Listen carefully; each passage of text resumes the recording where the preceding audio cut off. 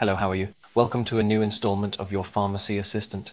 On this occasion, we would talk about what it is used for and how it is used. So, let's take a look.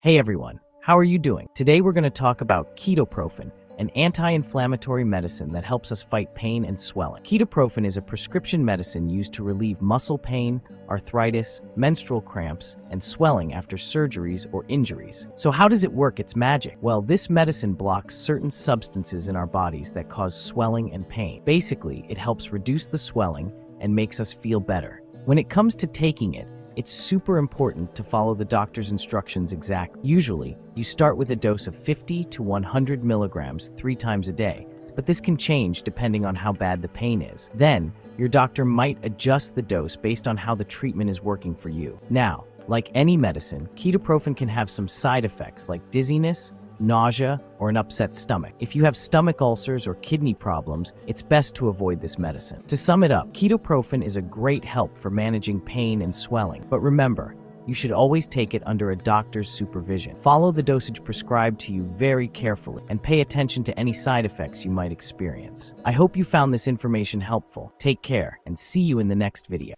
If you've made it this far, let us know in the comments why you're using this medicine